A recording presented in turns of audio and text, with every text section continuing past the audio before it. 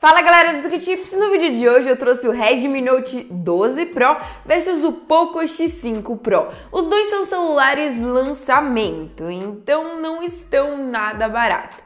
Eu imagino que eles dois vão custar, né, depois que passar um tempinho, vão cair o preço. Aí eu acho que eles vão custar na faixa de 1.800, 1.700 reais, que daí vai ser a faixa de preço que vai compensar mais. Porque agora eles dois estão acima de 2 mil reais que são não, não vale tão, tão a pena assim se você for ver. Mas como eu não sei quando você está vendo esse vídeo, eu vou deixar o link na descrição e esse link é atualizado. E nesse link você consegue parcelar em até 10 vezes sem juros, então compensa demais. No design, eu vou te falar que eu acho que eles até parecem um pouco, né? Porque a única coisa que vai diferenciar vai ser essa, essa logo da Poco aqui no nosso Poco X5 Pro. Mas mudando isso, é também a textura da traseira, né?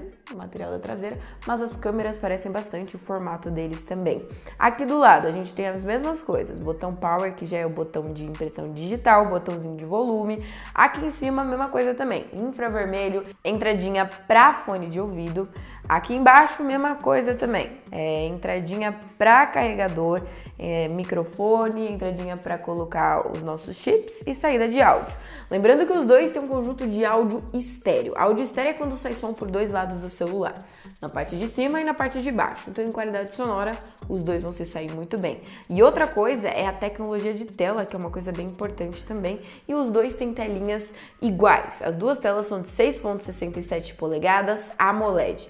Tela AMOLED a gente está sabendo que tem economia de bateria, porque dentro dessa tela aqui a gente tem várias luzinhas acesas e são luzinhas individuais, mais conhecidas como pixels, pixels que funcionam individualmente. Então, quando um acende, o outro não precisa acender, cada um acende na hora que quiser quiser.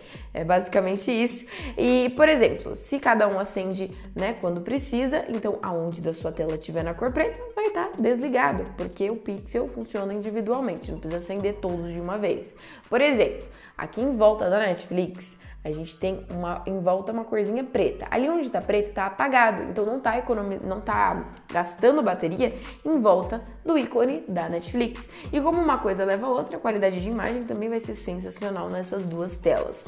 E as duas telas também são de 120 Hz. Então você vai ter uma fluidez, uma resposta de toque sensacional para mexer no dia a dia e principalmente para aquelas pessoas que gostam de jogar, né? Vai ter uma precisão sensacional aí para você mexer nessas telinhas de 120 Hz. E eu vou te falar que em potência de processador eles são muito parecidos. Primeiro a gente vai jogar aqui no Redmi Note 12 Pro o Coffee Duty, que é um jogo que exige bastante dos nossos processadores, e a gente tem a opção para jogar com a taxa de quadros na máxima. Só que daí a qualidade gráfica vai para baixo. Então vamos jogar tudo aqui no, no alto. E esse processador que a gente tem aqui é um processador da MediaTek. É um MediaTek Dimensity 1080 e ele vem com 8 de memória RAM, então ele tem uma tela super fluida, um processador bom, né? E 8 de RAM para acompanhar tudo isso.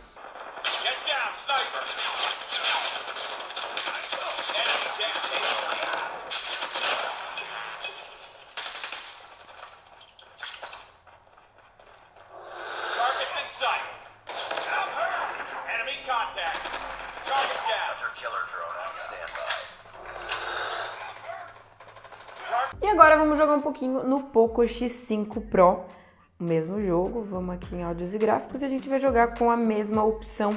Só que aqui no Poco X5 Pro, a gente tem a opção na taxa de quadros, a opção Ultra. Só que a qualidade gráfica vai para média.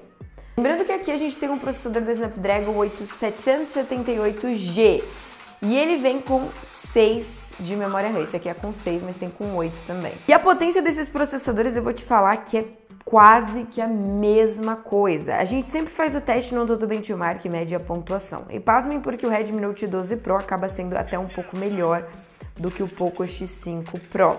A gente é, fez o teste e o Poco X5 Pro bate cerca de 535 mil pontos e o Redmi Note 12 Pro 538 mil pontos. Então a diferença em processador é muito mínima mesmo entre esses dois.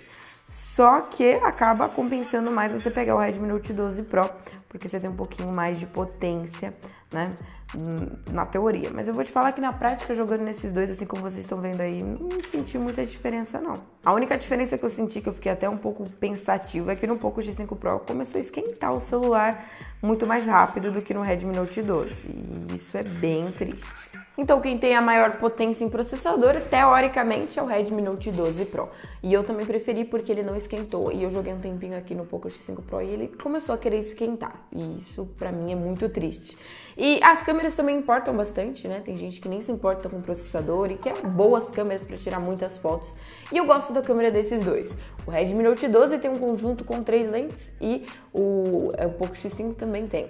A câmera padrão do Poco X5 é de 108 megapixels e do Redmi Note 12 Pro é de 50 megapixels. E a gente tem grande angular de 8 e uma macro de 2 nos dois. E a selfie é de 16 megapixels no nos dois. Se eu não me engano, o que vai mudar vai ser os sensores. E em bateria também os dois têm a mesma miliamperagem, que é 5.000 mAh, uma bateria gigantesca, vai durar o dia inteiro. Se você tiver um uso maneirado, pode durar até um dia e meio de bateria.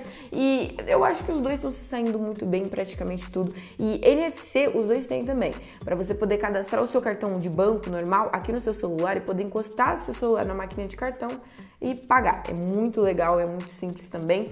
E então, falando sobre custo-benefício, os dois estão na mesma faixa de preço, na faixa aí de acima de dois mil reais, dois mil trezentos, dois mil cem reais, mais ou menos. Em telas é a mesma coisa, em processador o Redmi Note 12 teoricamente é um pouco melhor, mesmo sendo uma diferença mínima. É, em câmeras, eu gosto mais das câmeras do Poco X5 Pro, mas aí é muito particular de cada um. Em bateria, a mesma miliamperagem. Então, se você quer um celular bom para tirar fotos, talvez você seja a melhor opção um Poco X5 Pro, mas melhor em processador teoricamente, o Redmi Note 12 é a melhor opção. Deixe nos comentários qual dos dois que você prefere. Eu vou deixar já o link na descrição dos dois para você parcelar em até 10 vezes sem juros. Deixa logo o seu like, eu sou a Bianca Almeida e até o próximo vídeo.